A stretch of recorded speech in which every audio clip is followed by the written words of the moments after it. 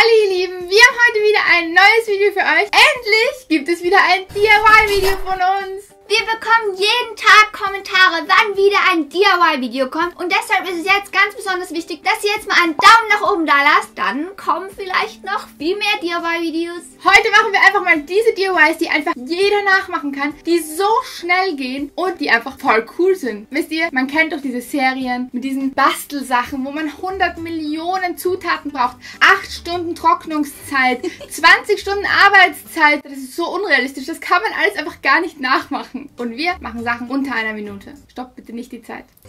ja, um ehrlich zu sein, wir schätzen, es dauert unter einer Minute. Wir haben noch nicht mitgestoppt. Eine Minute Lebenszeit für ein cooles DIY. Das hört sich schon richtig gut an. Also wenn ihr das DIY doppelt haben wollt, zwei Minuten. Oder drei. Oder vier, wenn ihr vier wollt. Okay, wir reden schon wieder nur noch Blödsinn. Am besten fangen wir direkt an mit dem ersten DIY.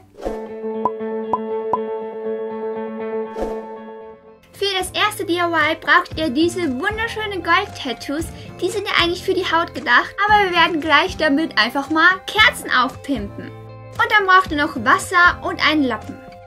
Diese Tattoo-Bögen sind schon mal in unserer engeren Auswahl, aber ich kann mich absolut nicht entscheiden, was ich nehmen soll. Die alle voll schön. Vielleicht was mit Federn, aber auch so ein Spruch oder so. So irgendwas finde ich auch voll schön. Okay, ab wann, ab wann wird die Zeit gestoppt? Wir haben uns für den Traumfänger entschieden. Ein bisschen Tempo heute, ne? Tempo, Tempo, Tempo, Tempo. Taschentuch. Wie man es eigentlich auch auf der Haut einfach macht, mit Wasser andrücken. Das ist eigentlich ein 15 Sekunden DIY. Dafür dürfen die anderen ein bisschen länger dauern. Wenn man das Tattoo leicht durchsieht, dann müsste es eigentlich geklappt haben und man kann es abziehen. Wow. Wow, wie schön ist das bitte? Das ist die schönste Kerze, die ich je gesehen habe. Kerze Nummer 2 mit diesem richtig coolen holographischen Schuppen und was ist das? Leopardenmuster, Schlangenmuster, Sternchen. Es sieht krass aus. Einfach alles drauf, oder? Das oben? Ja. Ihr könnt das den ganzen Tag lang machen. Her mit euren Kerzen. Achtung, Achtung. Wow, Magic. Das Ergebnis sieht doch einfach mal wunderschön aus, oder? So können die doch einfach mal locker auch im Laden verkauft werden. Ihr braucht stinknormale Wasserfarben und natürlich Pinsel und Wasser dazu. Und das Wichtigste ist eine Herzschablone. Die könnt ihr euch ganz einfach selbst aus Papier ausschneiden oder ausdrucken. Ein weiteres Blatt Papier oder eine schön gemusterte Karte solltet ihr auch noch zur Hand haben. Oh, und nicht zu vergessen, Wattestäbchen. Zuerst müssen wir die Herzschablone sichern, damit sie mal auf ihrem Platz bleibt. Das mache ich einfach mit so einem zusammengeklebten Klebestreifen hinten drauf und schön mittig keine Ahnung, ob das die Mitte ist, aber hier kommt es jetzt einfach mal hin. Welche Farbe nehmen wir? Rosa, lila. Und das ist unsere Geheimwaffe, Wattestäbchen. Das Wattestäbchen saugt sich dann mit Farben voll und das könnt ihr dann wie ein Stempel benutzen. Und einfach Punkte machen. Ich würde näher dran so ein paar mehr machen und nach außen hin immer weniger. folgt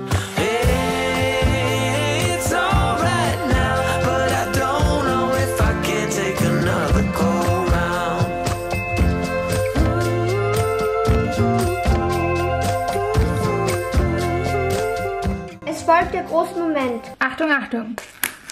Oh, voll schön. Guckt mal. Daraus könnte man jetzt super eine Einladungskarte machen, wo man in die Mitte schreibt. Oder einfach Kunst.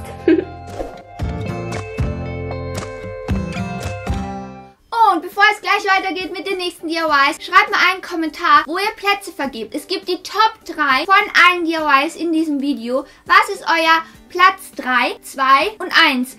Was ist euer Nummer Nummer 1 DIY aus diesem Video? Ich bin gespannt. Was genau tust du da? Das Einhorn ist zu groß für unser Glas. Fühle dich nicht gestört, mach einfach weiter. Mein größeres Messer. Das ist verrückt. Du wirst nur eingesperrt. Wegen... Ins Irrenhaus. Wegen Irrenhaus, okay. Wegen Irre. Kann nicht mehr so lange dauern. Uh, ausgezeichnet. Und das Einhorn lebt noch. Hier, keine Sorge, keine Sorge. Dem Einhorn geht's bestens. Das sind nur ein paar Löckchen, die es fehlen.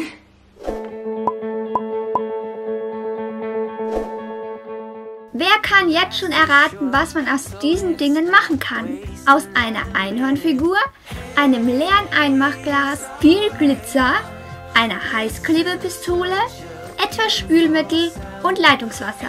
Auf das Ergebnis könnt ihr schon mal gespannt sein. Wenn das jetzt nicht passt, liebes Einhorn, ich sag's dir. Hier bleibst du stehen. Das passt doch, oder? Yay! Das DIY kann jetzt starten. Das gute kleine Einhörnchen wird jetzt mit Heißkleber am Deckel befestigt. So. Und wenn man dann das Glas draufstellt, dann ist die Figur verkehrt im Glas und klebt am Deckel. Wenn es so aussieht, dann habt ihr alles richtig gemacht. Jetzt kommt der beste Part und zwar das Glitzer. Machen wir ruhig viel. Jetzt folgt das Wasser von unserer Schneekugel. Das ist ganz normales Wasser. Ganz toll machen. Und das hier ist der Geheimtrick, damit das ganze Glitzer nicht oben aufschwimmt, kommt ein kleiner Tropfen Spülmittel rein. Es wird spannend. Achtung, Achtung. Das ist zu wenig Wasser. Das eine guckt ja fast oben drüber. Zum Luftholen ist das. Das kann doch nicht atmen unter Wasser. Und tada, so sieht es aus mit richtig viel Wasser. Bitte schütteln. Ein kleines Einhorn im Glitzerwunderland. Wir basteln jetzt ein Aufbewahrungsglas in Wassermelonenoptik. Am wichtigsten dafür sind Acrylfarben in Pink, Grün, Weiß und Schwarz. Und natürlich noch das Glas, in dem ihr dann später allen möglichen Kleinkram aufbewahren wollt. Erstmal alle wichtigen Farben bereitstellen und dann geht der Malspaß los. Ich bin jetzt nicht so der Künstler, aber eine Wassermelone schaffe ich. Vom Pink brauchen wir auch am meisten. Erst brauchen wir die Schale, die wird so schön dunkelgrün. Und das ist genau die richtige Breite von dem Pinsel, so circa 1 cm, ein bisschen mehr, so entlang ziehen. Das Grün sieht jetzt noch nicht perfekt aus, da mache ich später gleich noch eine zweite Schicht, damit es besser deckt, aber erst lasse ich das trocknen. Und währenddessen, ups, und währenddessen kommt jetzt die nächste Farbe, das wird weiß.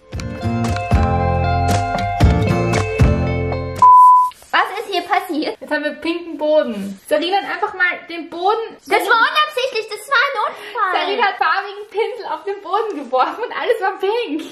Äh, Entschuldigung, what's wrong? Wie schön wäre ein rosafarbenes Stativ. Ja, das kaufen wir mal. Wir malen sie ja nicht selbst an. Okay, jetzt kommt die rosa Farbe aufs Glas, wo sie wirklich hingehört.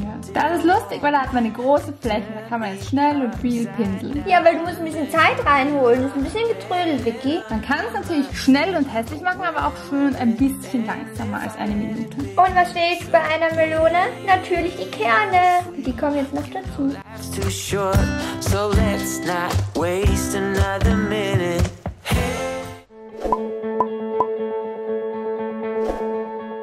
Nächste DIY bringt ein bisschen mehr Ordnung in euer Leben. Genauer gesagt in das Leben eurer Kopfhörer. Ein Kinderüberraschungsei, braune Acrylfarbe, Pinsel und grünes Bastelpapier ist alles, was ihr dafür braucht. Schritt 1 ist der absolut aller ober oberbeste. Man darf das Ü-Ei essen. Ist das nicht cool? Schafft man ein Ü-Ei in unter einer Minute? Mir die Hälfte. Jeder die Hälfte. Und, und das Spielzeug kann man auch erstmal weglassen. Ich glaube, das ist ein Auto.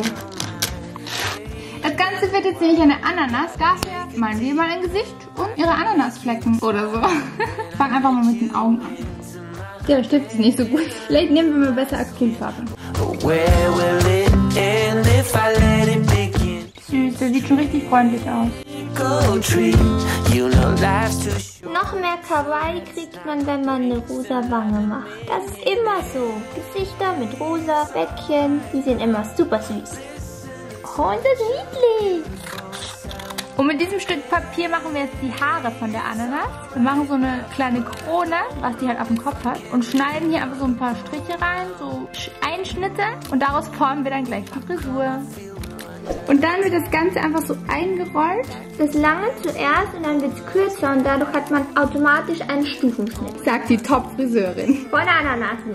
Zack. Dann kann man das so ein bisschen Welle, Naturwelle oder Dauerwelle, je nachdem, was der Kunde wünscht. Und das wird jetzt auf die Ananas geklebt. Wir machen das jetzt einfach mit einem Klecks Heißkleber. Das geht am einfachsten. Aber das geht bestimmt auch irgendwie mit Klebeband oder anderem Kleber. Und da kann man das einfach so draufpacken. Zack. Und die Frisur sitzt bombenfest. Und jetzt kommen da einfach die Kopfhörer rein und die werden nie, nie, nie, nie, nie wieder verknotet sein. Oder verloren gehen in der Tasche. Cool, oder? So, so cool. Ich glaube, das ist einer meiner Favoriten. Und das kommt jetzt gleich so in meine Tasche. Take another go round. Vergesst nicht Daumen nach oben. Und ihr könnt unseren Kanal auch abonnieren. Einfach mal auf Abonnieren klicken. Dann seid ihr herzlich willkommen in der Wiki Serena Fam. Hi, hi an jeden neuen Abonnenten. Hi. Und den Kommentar mit euren Plätzen, welche ihr am coolsten findet. Platz 1, 2 oder 3. Bis zum nächsten Mal. Tschüss.